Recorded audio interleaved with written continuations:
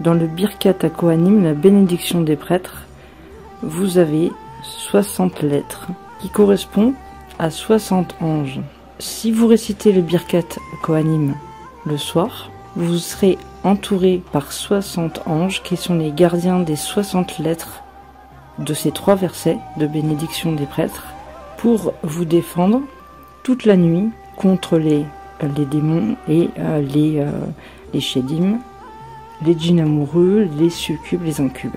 C'est pour ça que je vous recommande, si vous êtes sujet à ce genre de problème, à ce genre d'attaque nocturne, de réciter tout simplement trois fois le Birkat à Kohanim en hébreu.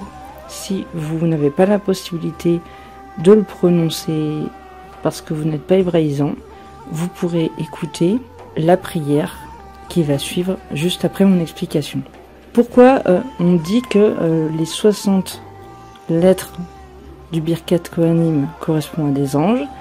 Parce qu'il faut regarder au Cantique des Cantiques, le Shir Hachirim, au chapitre 3, verset 7. Il est dit Voici la couche de Shlomo Ameler, le roi Salomon, avec ses 60 guerriers autour d'elle, parmi les puissants d'Israël. Qu'est-ce que ça veut dire? Ça veut dire que sur le lit du roi Salomon, il y avait gravé le Birkat Kohanim.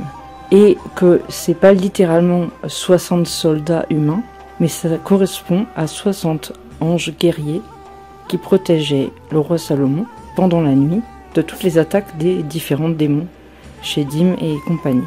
Donc, il faut bien prendre en compte que les 60 lettres du Birkat Kohanim sont tous gardées par un ange différent, parce que ces 60 lettres correspondent à différents noms divins.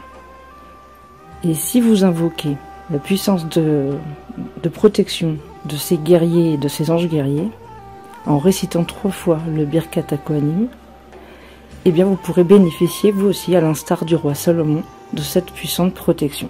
Je vous laisse avec la suite, qui est le, le Birkat Kohanim en version chantée.